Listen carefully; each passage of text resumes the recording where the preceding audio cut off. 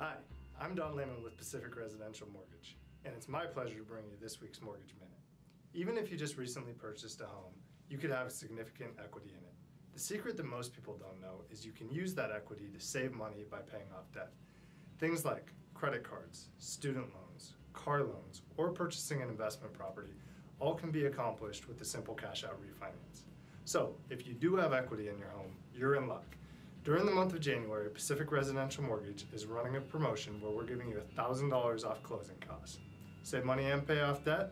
Sounds like a great way to start off 2019 to me.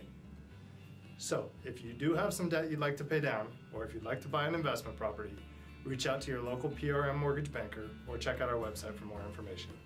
Thanks, guys.